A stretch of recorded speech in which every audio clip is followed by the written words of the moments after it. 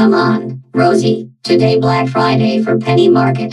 Well, I'm sure go to the penny. Let's get to the car.